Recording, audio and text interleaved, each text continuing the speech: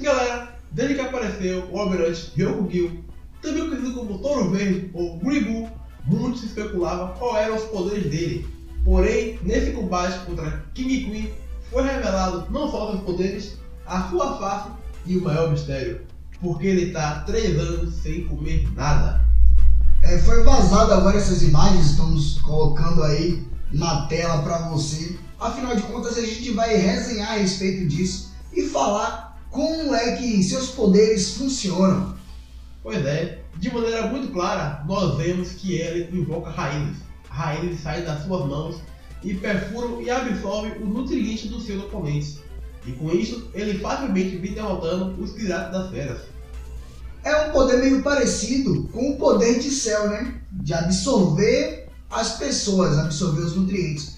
Vou absorver a energia vital desses humanos que vivem nas pequenas cidades sem que eles vejam para aumentar os meus poderes. Eu não vou nem enquadrar com, com o Android 17 a 18, porque ele absorveu de uma forma diferente. Mas Cell absorvia os nutrientes dos seres humanos, ali normalmente quando ele estava se fortalecendo, com sua cauda. Já Ryokugyu, ele tem a capacidade de controlar plantas, então ele consegue absorver os nutrientes das pessoas com as plantas.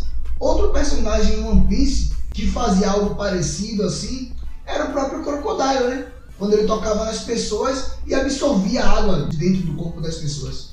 E com isso, o Ryokugyu, ele derrota os piratas das feras, ele até bebe o saque pelas suas raízes, então ele vai enfrentar King e Queen ao mesmo tempo. Não é dito se King e Queen já havia se recuperado da surra que levaram de Zoro e Sanji.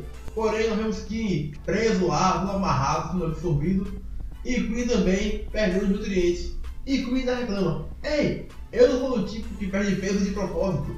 A questão é, será que Oda vai dar um basta para esses dois personagens? Será que eles vão morrer? King e Queen não irão aparecer mais? Ou será que Ryokugyu vai só absorver os nutrientes deles ali, deixá-los mais enfraquecidos do que já estão? Afinal de contas, levaram porrada de Zoro e Sanji, né? Foram solados e talvez agora eles sendo derrotado por Aramaki, que é o nome verdadeiro de Ryokugyu, quem sabe eles possam ser presos ou mortos. E aí o que vocês acham?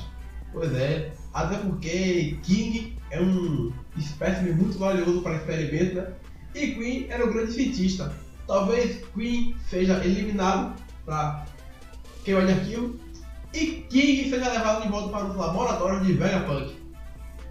Talvez não, talvez até Queen não seja morto também, porque ele tem muito conhecimento e talvez o governo mundial possa querer usar o conhecimento dele, né? Querer também descobrir o que ele sabe. Afinal de contas, ele ainda trabalhou junto com a gema Double Six, ou melhor, com o Jude, que seria o pai de Sanji. E isso é o que foi mostrado dos poderes de Ryukugyu, que ele consegue absorver os nutrientes das pessoas através de suas várias raízes. Isso explica porque ele está muito tempo sem comer, afinal ele está se alimentando, absorvendo nutrientes dos outros, talvez até da própria terra, né? que ele é uma árvore, evocar a raiz como se fosse árvore, e facilmente derrotou King e Queen.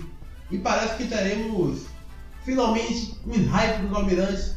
Será que eles são tão fortes quanto os Yonkous? Isso é uma pergunta que talvez agora comece a ser respondida. E galera, você que chegou até aqui, curtiu nosso vídeo, deixa seu like não, porque fortalece muito.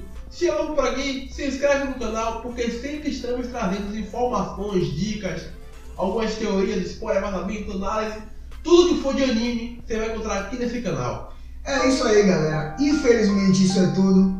Ficamos por aqui. Um abraço e fica com Deus.